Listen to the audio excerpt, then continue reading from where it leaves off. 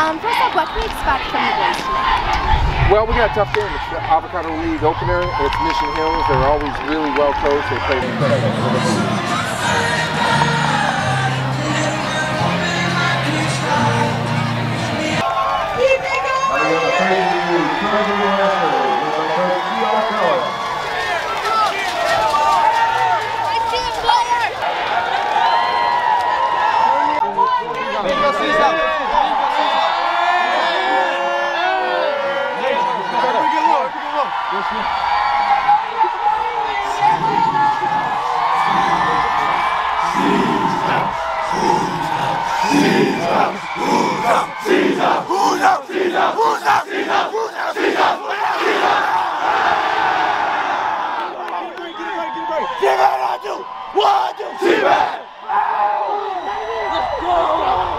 Better than yesterday.